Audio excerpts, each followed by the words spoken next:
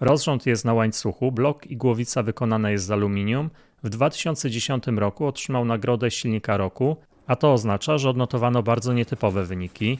Z jednej strony mamy stan akceptowalnej lepkości mierzonej w 40 stopniach oraz 100 stopniach, natomiast z drugiej strony obserwujemy dość mocny i nietypowy spadek wskaźnika lepkości.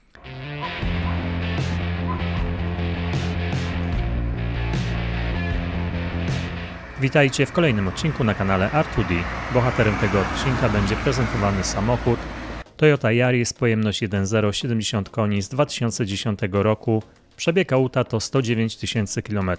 Cel główny odcinka to sprawdzenie w jakiej kondycji jest olej, który pracował w tym samochodzie. Inicjatorem tego eksperymentu jest Michał, natomiast użytkownikiem samochodu jest jego żona. Na ekranie prezentuje podstawowe informacje o użytkowniku, wiek, miejsce zamieszkania oraz preferencje dotyczące wymiany oleju silnikowego. Michał skierował do laboratorium R2D taką oto przesyłkę. Środku znajdują się dwie pozycje. Próbka numer 1 to olej świeży, kilka informacji na opakowaniu, reszta szczegółów za chwilę.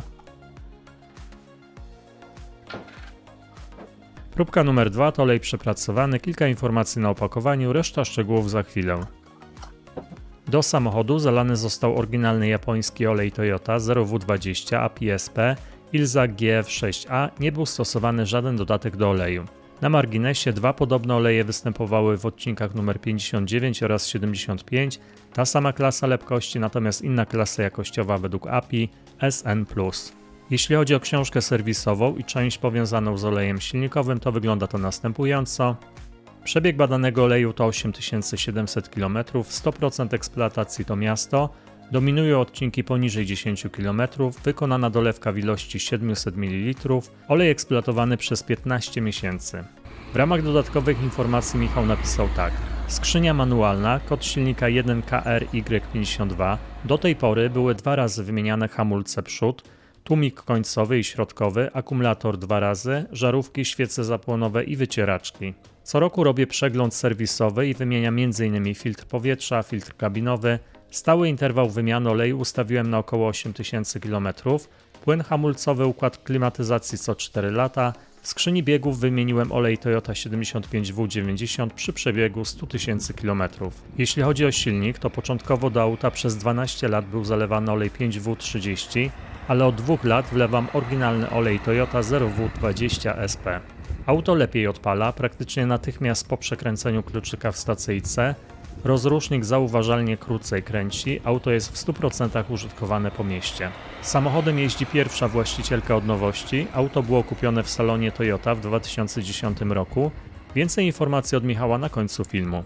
Przechodzimy do badań laboratoryjnych, najpierw pomiar lepkości oleju świeżego, a następnie pomiar oleju przepracowanego. Zapraszam.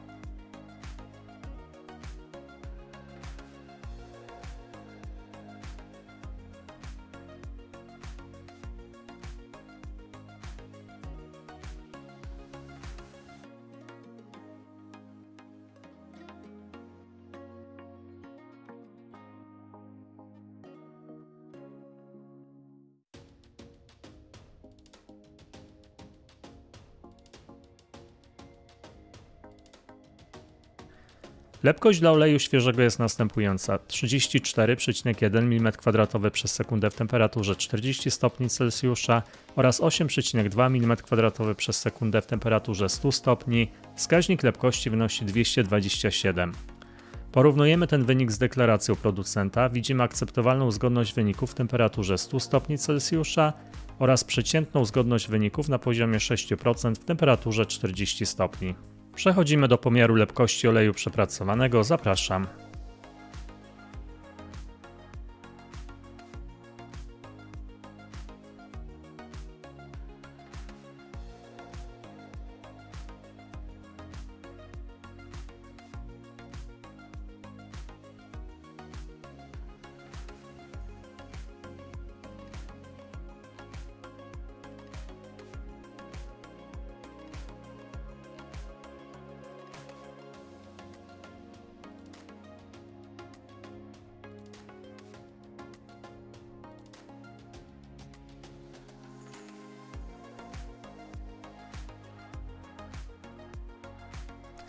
Lepkość dla oleju przepracowanego jest następująca: 34,7 mm2 przez sekundę w temperaturze 40 stopni oraz 7,5 mm2 przez sekundę w temperaturze 100 stopni. Wskaźnik lepkości wynosi 191.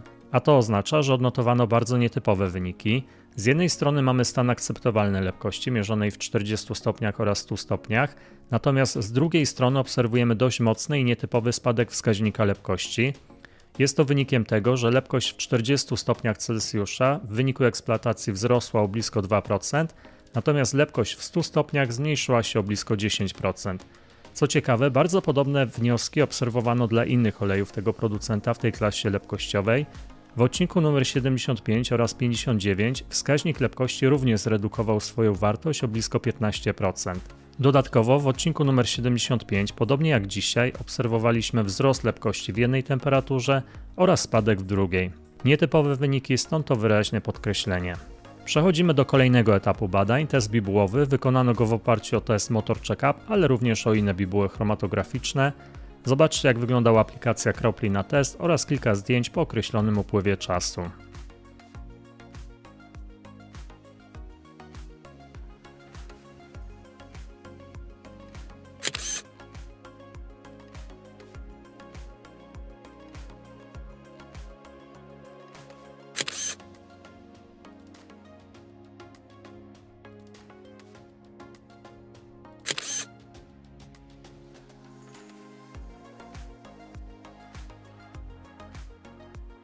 Oglądamy plamy z różnych perspektyw oraz przy wykorzystaniu dodatkowego podświetlenia. Plamę w teście bibułowym oceniam na stan przeciętny, zanieczyszczenia stałe oraz ogólna kondycja oleju to środek skali. Do podkreślenia jest natomiast większe rozwarstwienie plamy niż obserwujemy dla innych próbek. Widocznych jest kilka okręgów poza jądrem plamy oraz strefą rozpraszania.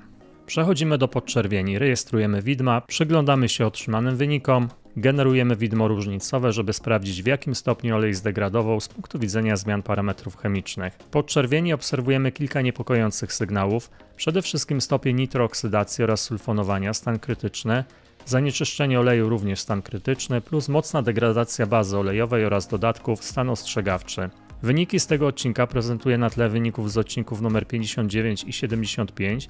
Widać wyraźnie kilka obszarów wspólnych dla tych olejów, przede wszystkim nitrooksydacja oraz degradacja bazy olejowej plus te zanieczyszczenia. Podsumowując wyniki dla oleju z dzisiejszego odcinka, do podkreślenia są dość zagadkowe i niestandardowe zmiany parametrów oleju silnikowego, Głównie chodzi o wskaźnik lepkości, test bibułowy oraz nitrooksydację i bazę olejową. Wydaje się, że w takiej sytuacji, gdy eksploatacja jest w 100% w mieście, wymiana oleju powinna zostać przeprowadzona po roku czasu, co by odpowiadało przebiegowi na poziomie około 7,5 tysiąca km. W ramach ekstra informacji od Michała. Samochód w początkowych latach eksploatacji był serwisowany w Aso Toyota, Wlewali wtedy olej 5W30 APSN i był wymieniany zawsze po około 10 tysiącach kilometrów, było to mniej więcej raz na rok. Od dwóch lat stosuje olej klasy 0W20 API SP co około 8000 km. Trzycylindrowy silnik o specyfikacji wyświetlanej na ekranie sprawdza się dobrze po mieście. Niestety niski maksymalny moment obrotowy 93 Nm i niewielka moc 70 koni mechanicznych oraz przyspieszenie do setki w ponad 15 sekund wyklucza inne zastosowania dla tego samochodu, jak tylko jazda miejska. Do tego został jednak zaprojektowany i doskonale spełnia swoje zadanie. Na trasie na piątym biegu przy 120 km na godzinę silnik ma już około 4000 obrotów na minutę. Posiada układ zmiennych faz rozrządu VVT i oraz 12 zaworów. Rozrząd jest na łańcuchu, blok i głowica wykonana jest z aluminium. W 2010 roku otrzymał nagrodę silnika roku. Z tego co czytałem, to był, czy jest nadal tego nie wiem, produkowany w Polsce w Wałbrzychu. Sam Yaris XP9F został wyprodukowany we Francji, jest to wersja z literką F. Zmierzone spalanie benzyny od nowości wynosi 6,3 litra na 100 km. Najważniejsza zaleta tego silnika to niezawodność. W najbliższym czasie wymienię płyn chłodzący Toyota Super Long Life Coolant, bo od nowości nie był wymieniany. Spełnia on jeszcze swoje parametry temperaturowe, minus 40 stopni Celsjusza, ale jednak po 14 latach przydałoby się go wymienić.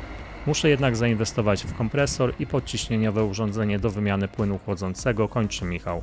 Dziękuję za wspólne eksperymentowanie. Z góry dziękuję za aktywność na kanale, bo jest ona bardzo ważna. Komentarz, łapka w górę, subskrypcja kanału to sygnały dla mnie, że prowadzone eksperymenty spotykają się z Waszym zaciekawieniem. Zapraszam osoby zainteresowane udziałem we wspólnym eksperymentowaniu do kontaktu mailowego. Znajdziecie go w opisie filmu. Do usłyszenia w następnym odcinku. Cześć.